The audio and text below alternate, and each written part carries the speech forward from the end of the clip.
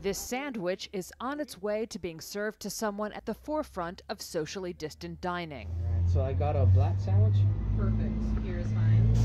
Rebecca High and her friend Tessa Villegas are in Los Angeles' trendy Echo Park neighborhood at the Ladybird Cafe, which has transformed its outdoor garden to include several mini greenhouses for humans.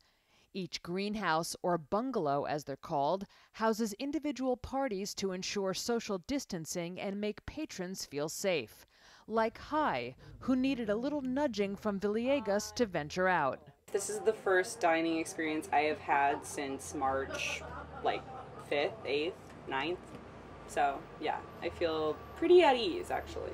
Owner Misty Mansouri said several customers have in fact told her that Ladybird provided their first meal out in months. So the CDC guidelines are really you just have to be six feet apart, right? I just went the extra step to make sure that people feel extra comfortable. And then, of course, they're thoroughly cleaned and sanitized after each use. She said she was inspired by similar models in Europe, like a restaurant in Amsterdam which provides little glass dining huts for parties of two.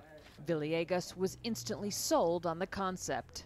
I think this is amazing. Um, this is what I think we had needed for a real long time and, and merging that safety plus still experiencing social interaction. So I think this is the um, this is the holy grail of dining almost. One downside, despite having windows that open on top, the dining huts can get pretty toasty in the midday sun. We do suggest to our customers not to come in the middle of scorching hot day and to come in the morning or later in the day like after 4:30.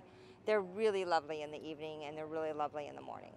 Outdoor dining is allowed throughout California, but most indoor dining is still banned. Ladybird's bungalows provide a bit of both.